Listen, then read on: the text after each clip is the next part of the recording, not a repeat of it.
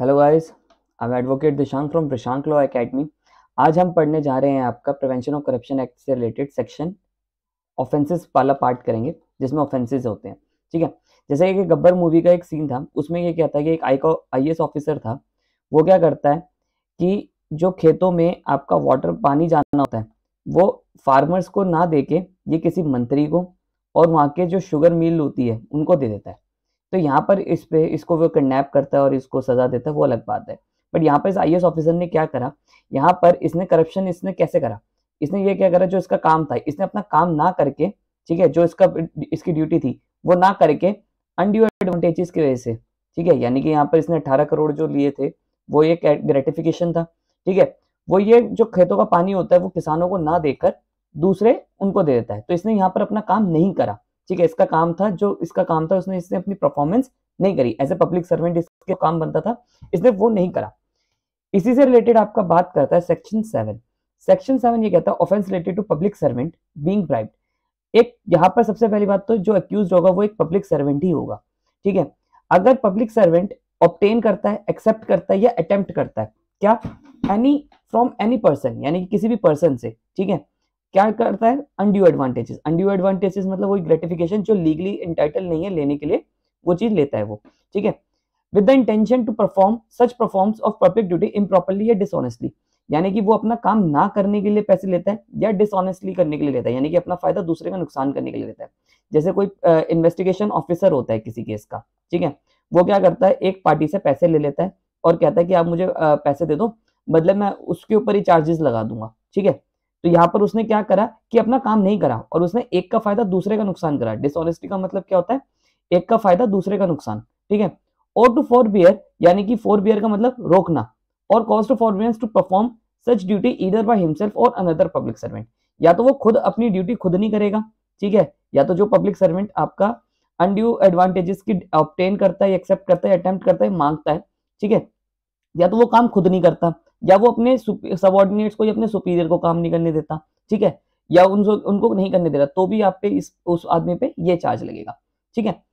तो अब बात करते हैं बी पार्ट में। देखिए ए और बी में सेम लैंग्वेज है, बस यहाँ पर दोनों में फ़र्क यह है कि यहाँ तो वो क्या कर रहा है अनड्यू एडवांटेजेस में कुछ भी ले सकता है।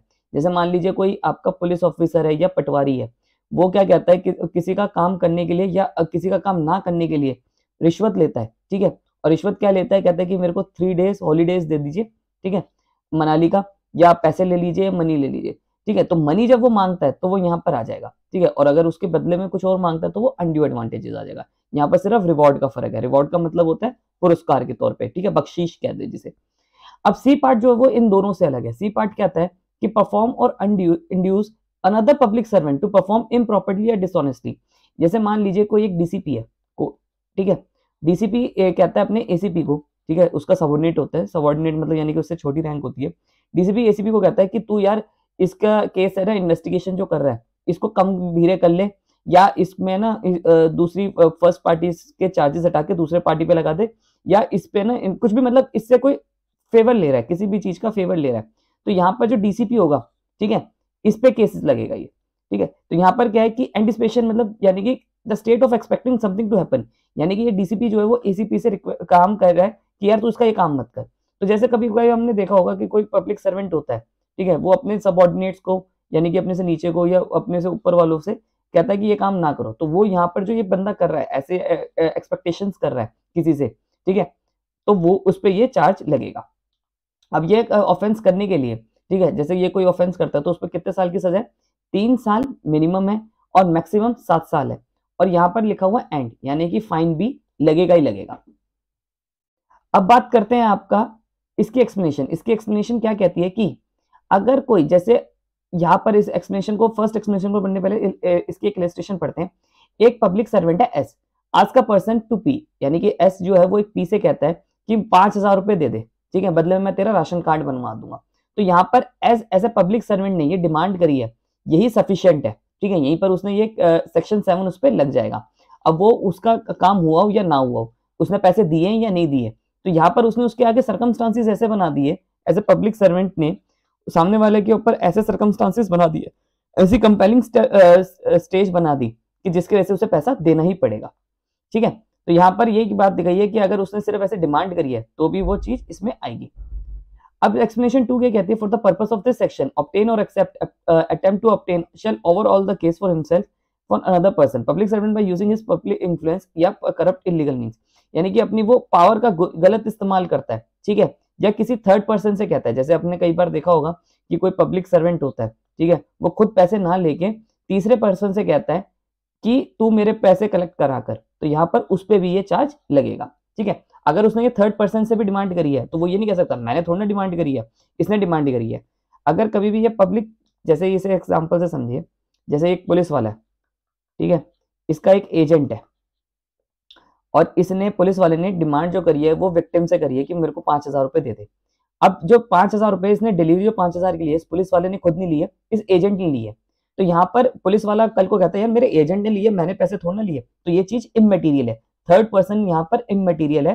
ठीक है? अगर इसने और इनका दोनों का कनेक्शन आ जाता है तो ये पुलिस वाला यहाँ जिम्मेदार होगा। ठीक है? अब बात करते हैं सेवन ए की। सेवन ए में आपके उसी पुलिस वाले के एजेंट की बात करिए। जैसे ये पुलिस वाला था, ये उसका एजेंट था। सेवन में तो अगर थर्ड पर्सन के थ्रू डिमांड करता है तो पब्लिक सर्वेंट माना जाएगा। तो इस एजेंट को भी तो सजा मिलनी चाहिए। इस एजेंट को सेवन ए के अंडर सजा मिलेगी। कैसे? यहाँ पर लिखा हुएवर एक्सेप्ट ठीक है? हुएवर एक्सेप्ट और ऑब्टेन और attempt obtain from another person himself और अदर पर्सन अनड्यू एडवांटेजेस और मोटिव ऑफ़ रिपोर्ट देखिए, जैसे मान लीजिए एजेंट है, ये कहता है, लाओ, मैं तुम्हारा पुलिस में काम करवा देता हूँ। लाओ, मैं तुम्हारा इस पटवारी से काम करवा देता हूँ। लाओ, मैं उस आई से तुम्हारा काम करवा देता हूँ। और इन दोनों की मिली भगत है, चाहे मिली भगत हो या ना हो। यहाँ पर ये एजेंट जो है, ये करप्शन के चार्ज के लिए ये भी जिम्मेदार होगा, ठीक है? और इसको कितने साल तक की सजा मिलेगी? आपका तीन साल तक की सजा मिलेगी और आपका एक्सटेंडिंग सात साल तक की भी होगी। और यहाँ पर फाइन लगेगा। तो सेवन ए के जो सेवन का सी पार्ट जो था, और यहाँ पर जो आपका सेवन ए है, इन दोनों में फ़र्क बस इतना सा है कि सेवन सी में पब्लिक सर्वेंट को सजा मिलेगी अगर वो एजेंट के थ्रू काम करवा रहा है, और यहाँ सेवन ए में एजेंट को सजा मिलेगी। ठीक है? अब बात करते हैं सेक्शन एट की। सेक्शन एट आपका यहाँ पर एक पुष्पा मूवी आई थी।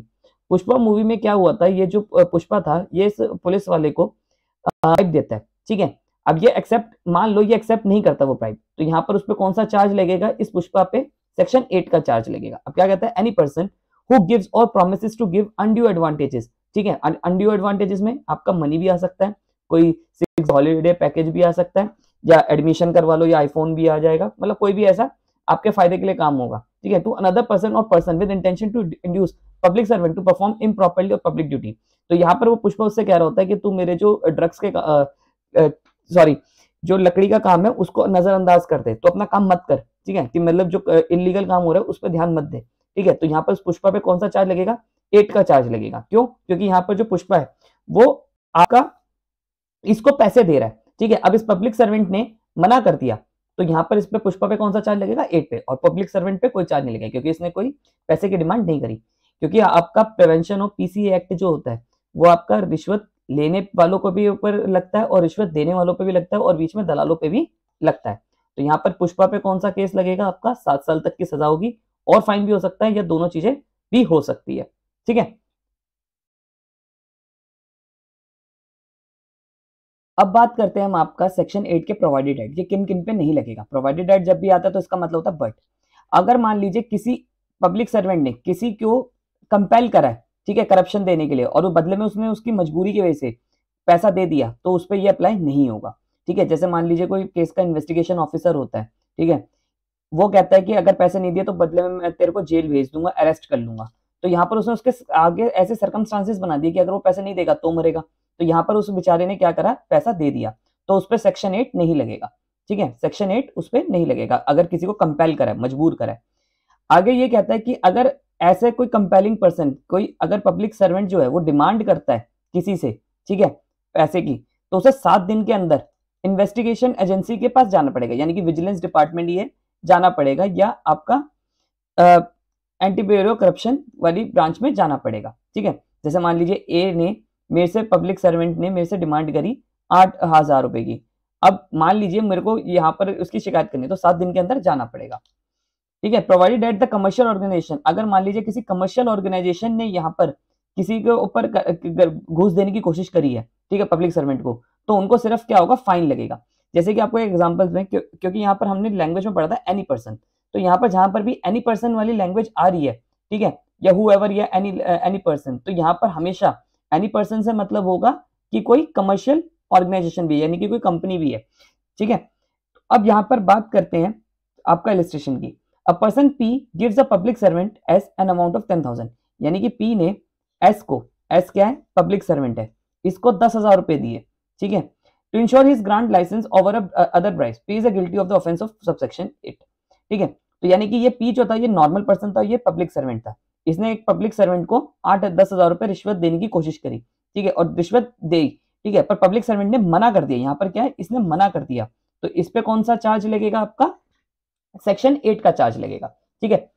It is immaterial whether the person undue advantages promise to give some person of the under the perform his public duty और यहाँ पर इसने इसे ये दिए थे, मान लीजिए इसने, इसको ये कहा था कि अपना काम मत कर, ठीक है? तो भी इस पर यह चार्ज लगेगा।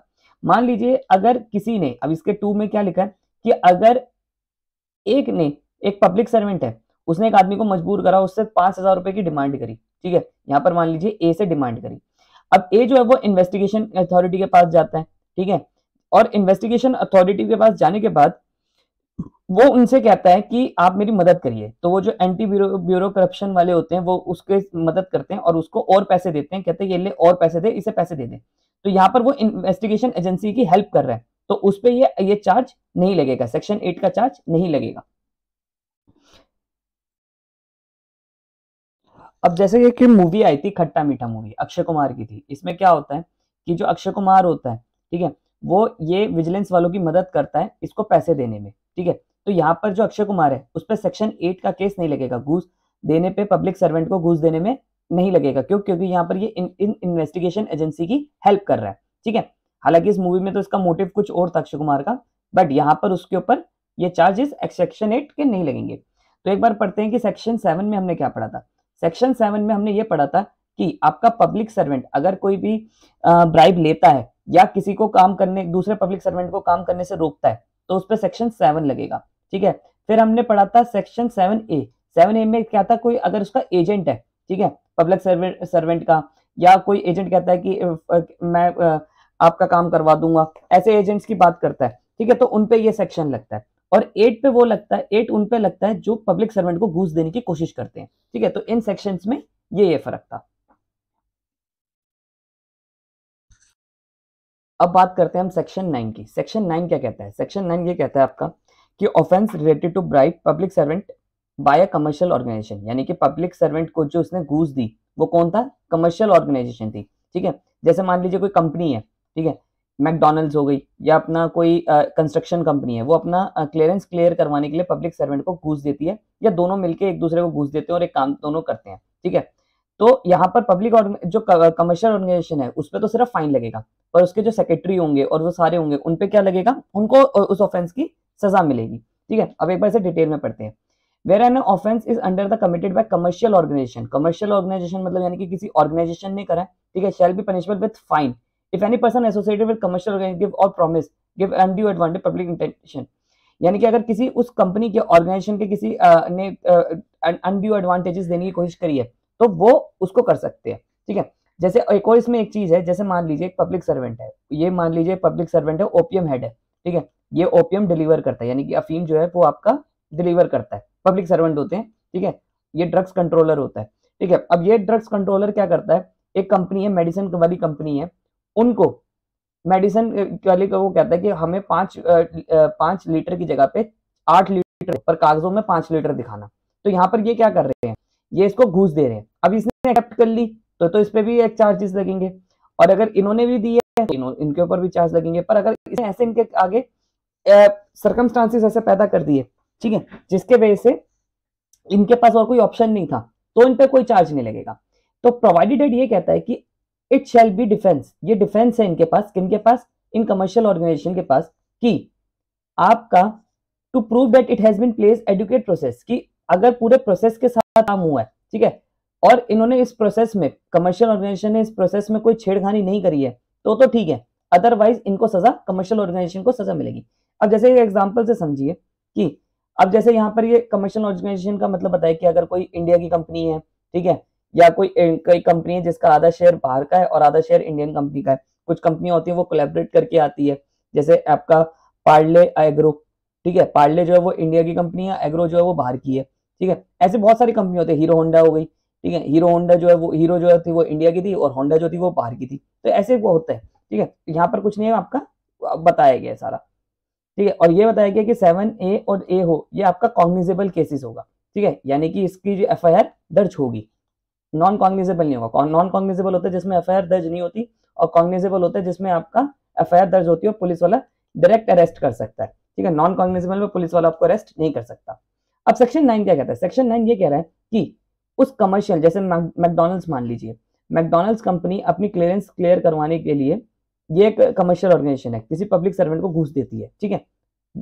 वॉलेंट्री देती है घूस, ठीक है? अब इसने ली ना ली वो अलग बात है। ली है तो सेवन बी लग जाएगा इसके ऊपर। अगर इन्होंने करी है तो इन पे एट लग जाएगा। तो इनकी ऑर्गेनाइजेशन पे तो सिर्फ़ फाइन लगेगा। पर इसकी कंपनी का जो डायरेक्टर था, ठीक है, या मैनेजर था, या सेक्रेटरी था, या कोई भी ऑफिसर था, उसको उसकी सजा मिलेगी। ठीक है? अब यहाँ बताया गया कि डायरेक्टर कौन होता है, क्या नहीं होता है।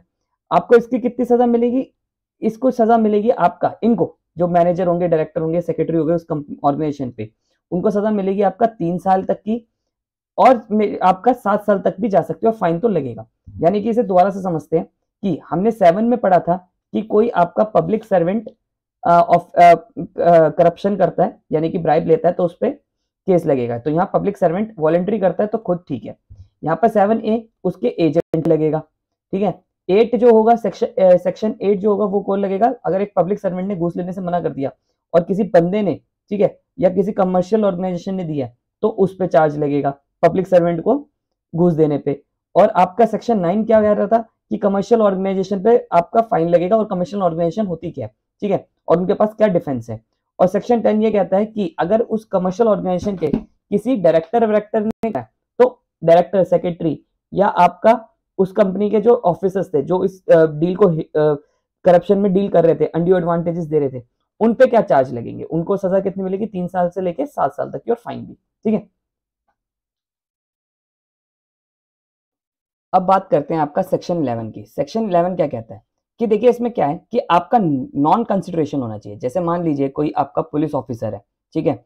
वो अपने सबॉर्डिनेट को, अपने से, जैसे ये एस है ठीक है? एस एच ओ आपका एक सब इंस्पेक्टर से कहता है अपने सबॉर्डिनेट को कि यार वो मेरे भतीजे का केस है, तू उसे यार देख ले, उसमें से उसका नाम हटा दे। तो यहाँ पर एक दोनों के बीच में कोई कंसिडरेशन नहीं हुआ, यानी कि कोई पैसा नहीं दिया, ना कुछ दिया। पर तब भी यहाँ पर करप्शन तो हुआ, क्योंकि यहाँ पर जो सब इंस्पेक्टर है, ठीक है, ये पब्लिक जो एस एच ओ था, ये उसे कह रहा है कि यार अपना काम मत कर, यानी कि अन परफॉर्मेंस करने के लिए फॉरबियर कर रहा है उसे, ठीक है? ये कि अपना काम ना करने के लिए डिसऑनेस्ट इंटेंशन के साथ कह रहा है। तो यहाँ पर इस एच पे और इस पे, अगर इसने कर दिया तो इस पे भी लगेगा और एस एच ओ पे। तो यहाँ पर मेन क्या कि कंसिडरेशन नहीं है। तो यहाँ पर अगर आप देखिए विदाउट कंसिडरेशन बात करी गई है, ठीक है? तो यहाँ पर क्या होगा? सेक्शन इलेवन का केस लगेगा, ठीक है? यहाँ पे अगर हमने पीछे पढ़ा था कि अगर कोई लाइसेंस बनवाने के लिए आपसे पाँच हज़ार रुपए दस हज़ार रुपए ले रहा है या अठारह करोड़ भी ले रहा है कोई पैसे ले रहा है, ठीक है? तो तो ठीक है अदरवाइज़ नहीं लगेगा। तो यहाँ पर हमारा सबसे इंपॉर्टेंट बात है कि कोई बदले में पैसे या आपका six day holiday holiday package या बच्चों का स्कूल में एडमिशन या बदले में आईफोन ये ऐसे कोई कंसिडरेशन चीज़ नहीं होनी चाहिए, ठीक है? तब पर तब भी आपका अनड्यू एडवांटेज में कोई कंसिडरेशन ना हो। अब बात करते हैं यहाँ पर। Whoever being public servant accept और ऑप्टेन अटेम्प्ट हिमसेल्फ और एनी अदर पर्सन या तो अपने लिए कह रहा है या किसी और पर्सन के लिए कह रहा है, जैसे एस को कह रहा था अपने भतीजे के लिए, ठीक है? अनड्यू एडवांटेजेस विदाउट मतलब या तो अनड्यू एडवांटेजेस तो ले रहा है, पर यहाँ पर उसकी जो अनड्यू एडवांटेजेस है फुलफिलमेंट है, वहाँ पर उसमें कोई कंसिडरेशन नहीं है तो कोई कंसिडरेशन नहीं है। For the inadequate for any person who he has been likely to be concerned in proceeding business, transacted and transact public servant. तो यहाँ पर इस एस को कितने साल की सजा मिलेगी? आपका छह महीने तक की सजा मिलेगी, जो आपका पाँच साल तक भी जा सकता है और फाइन भी लगेगा। पर यहाँ पर मेन क्या है कि विदाउट कंसिडरेशन होना चाहिए। कोई भी आपका पाँच हज़ार, दस हज़ार या कोई भी आपका कंसिडरेशन नहीं होनी चाहिए करप्शन में। अंडियो एडवांटेजेस सिर्फ़ आपका रिश्तेदारी के बेस पे हो गया या इन चीज़ों के बेस पे हो गया। अब बात करते हैं सेक्शन इलेवन की। सेक्शन इलेवन कहता है punish for abetment of offence या तो किसी को उकसाता है, या उसके आगे ऐसे सर्कमस्टांसेस बनाते हैं। जैसे मान लीजिए कोई ऑनेस्ट पुलिस ऑफिसर है, या कोई ऑनेस्ट पब्लिक सर्वेंट है, जो इसके ऊपर के जो आला अधिकारी है, वो इसके ऊपर ऐसा प्रेशर बनाते हैं इंस्टिगेट करते हैं, इसे नहीं ले नहीं ले, इसके आगे ऐसे सर्कमस्टांसेस कर देते हैं। कि इस बेचारे को मजबूरी लेनी पड़ती है ठीक है? या ये इसके आगे ऐसे सर्कमस्टांसेस बना रहे हैं कि इसको अनड्यू एडवांटेजेस लेने पड़ रहे हैं या ले, लेने के आगे हिसाब करते थे वरना इसकी नौकरी पर बर्बाद आ जाएगी यानी कि इसको अबेटमेंट कर रहे हैं इंस्टिगेट कर रहे हैं। अबेटमेंट का मतलब इंस्टिगेट कर रहे हैं। इनक्वाइट ऑफेंसेस होते हैं अबेटमेंट के। या इसके आगे एंगेज कर रहे हैं या कॉन्स्परेसी कर रहे हैं। तो उनके ऊपर जो अबेटमेंट भी कर रहा है ठीक है? जो उकसा रहा है ठीक है? यानी कि जैसे ए ने बी को कहा कि सी से पाँच हज़ार रुपए ले ले। तो यहाँ पर क्या बी ने लिया तो तो बी भी जिम्मेदार है। पर अगर यहाँ पर इसने सिर्फ़ उकसाया है, ठीक है तो इसको अवेटमेंट की सजा मिलेगी। अवेटमेंट में आपका सिंपल सा होता है कि ए पर्सन ने बी को अगर उकसाया है, ठीक है, उकसाया है इंस्टिगेट करा ठीक है, या एंगेज करा किसी हेल्प करने के लिए तो उस पर ए पे चार्ज लगेगा अबेटमेंट का, ठीक है। चाहे ली इसने है, इसने करा है पैसा तो इसने लिया अनड्यू एडवांटेजेस अनड्यू एडवांटेजेस इसे लिया। पर इसे उकसाया किसने? ए ने उकसाया। तो जो अबेटमेंट का केस होगा, वो इस पे लगेगा। और कितनी सजा होगी आपको? इस अबेटर को तीन साल तक की सजा होगी, जो आपका सात साल तक भी जा सकता है। और फाइन भी लगेगा। अब बात करते हैं criminal misconduct by public servant अब देखिए यहाँ मिसकंडक्ट की बात करिए। जैसे पुलिस वालों को या किसी भी सरकारी आदमी को कोई गाड़ी मिलती है, और वो क्या करता है? उस गाड़ी का मिस करता है। ठीक है, जो उसको पावर है उनका मिस यूज़ करता है मिसकंडक्ट है। यानी कि उसको जो पब्लिक सर्वेंट को ऐसे पावर मिली गई है, वो उसका मिस यूज़ करते हैं। जैसे a public servant is said to be offence of misconduct if it dishonestly यानी कि एक का फ़ायदा दूसरे का नुकसान करने के इरादे से, या फ्रॉडलेंट धोखा देने के इरादे से, या गमन करते हैं, किस चीज़ का? किसी भी प्रॉपर्टी का कन्वर्ट कर लेते हैं, ठीक है? जैसे मान लीजिए, पुलिस ऑफिसर बरामद करता है किसी से पाँच हज़ार रुपए। और वो पाँच हज़ार रुपए वो सरकारी खजाने में जमा करवाने की जगह वो पाँच हज़ार रुपए अपनी जेब में रख लेता है। तो यहाँ उसने क्या करा? मिसकंडक्ट करा ठीक है? तो ऐसे में उसे मिसकंडक्ट की कितनी सजा मिलेगी आपका? Shall not be less than four years जो आपका दस साल तक भी जा सकती है। और अपनी आय से, यहाँ पर सबसे इंपॉर्टेंट ये है, अपनी आय से ज़्यादा पैसा रखना भी आपका इसी में आता है, ठीक है? जैसे मान लीजिए मेरी इनकम है पचास हज़ार रुपए और मेरे पास जो आई है वो सौ करोड़ की आई है। कई आई ऑफिसर्स या कोई होते पटवारी जो ऐसे पकड़े जाते हैं इतनी इनकम के साथ। तो उनपे क्या केस लगेगा? सेक्शन तेरह का केस लगेगा। मतलब अपनी आय से ज़्यादा प्रॉपर्टी रखना भी विदाउट एनी एक्सप्लेनेशन में ये वाला केस लगता है। अब सेक्शन 14 क्या कह रहा है? कि कोई हैबिचुअली डीलर है। ठीक है, यानी कि पहले भी कन्विक्टेड हो चुका है करप्शन के केस में दूसरी बार भी हो चुका है तो अब नहीं छूटेगा। तो अगर कोई ऐसे हैबिचुअल डीलर है, ठीक है करप्शन में तो उसे पाँच साल तक की सजा होगी ज़्यादा और एक्सटेंड हो सकते है, दस साल और फाइन भी लगेगा। अब सेक्शन 15 कहता है कि whoever attempt to commit any offence which shall not be less अगर किसी ऑफेंस का अटेम्प्ट करता है, या तो कोई किसी पब्लिक सर्वेंट को घूस देता है, या पब्लिक सर्वेंट खुद घूस ले रहा है वॉलेंट्री या किसी विदाउट कंसिडरेशन कोई पब्लिक सर्वेंट के आगे सरकमस्टांसिस बना रहा है, ठीक है, या दोनों के बीच में कोई कह रहे हैं, यार मेरे दो पब्लिक सर्वेंट के बीच में हो रहा है, या मेरे रिश्तेदार का काम करवा दे, ठीक है कोई भी बस ये काम हो रहा है। तो ऐसे में कोई अटेम्प्ट भी करता है इन ऑफेंस का। सात का सेवन ए का ठीक है? आठ का नौ का दस का या कोई कमर्शियल ऑर्गेनाइजेशन है ठीक है? कमर्शियल ऑर्गेनाइजेशन के डायरेक्टर वायरेक्टर कोई भी अटेम्प्ट करता है। सिर्फ़ अटेम्प्ट करने पे सजा कितनी है आपका? Shall not be less than दो साल और उसका एक्सटेंड कर सकते हैं पाँच साल तक और फाइन भी लगेगा। अब बात करते हैं सेक्शन 16 की। सेक्शन 16 ये कह रहा है कि सेक्शन 7, 8, 9, 10, 11 और सब तेरह का sub section two fourteen fifteen अगर कोई भी इनमें जो फाइन लगेगा जज साहब जो फाइन लगाएँगे, जो स्पेशल जजेस होंगे सेक्शन थ्री के अंडर जो स्पेशल जजेस कंसिडर करे जाएँगे, वो फाइन जो लगाएँगे, वो कंसिडरेशन देख के लगाएँगे जो अनड्यू एडवांटेजेस का था। जैसे कि मान लीजिए ए ने बी को ए जो था वो पब्लिक सर्वेंट था बी से डिमांड करता दस हज़ार की, ठीक है? तो यहाँ दस हज़ार की या एक लाख की। तो जो फाइन लगाया जाएगा पब्लिक सर्वेंट क्योंकि हमने जितने भी ऑफेंसेस अभी पढ़े उसमें देखा होगा हमने कि आपका जो फाइन था वो तो मैंडेटरी था, ठीक है? ज़्यादातर। जिनमें फाइन मैंडेटरी होगा तो उसमें वो जो कंसिडरेशन जो ये दस हज़ार रुपए थे, ठीक है फिक्सिंग की, वो भी चीज़ कंसिडर करी जाएगी, इसके हिसाब से भी फाइन लगाया जाएगा। अच्छा खासा फाइन लगाते हैं, जैसे अगर दस हज़ार की करिए तो जज के ऊपर है डिस्क्रिप्शनरी पावर है, वो इस पर डबल भी कर सकता है या इसका ट्रिपल भी कर सकता है, ठीक है? तो मतलब यानी कि उस अमाउंट को भी नज़र में रखा जाएगा। आई होप आपको मेरी वीडियो पसंद आई हो। अगर आपको मेरी वीडियो पसंद आई है तो चैनल को सब्सक्राइब करिए। Thank you thank you so much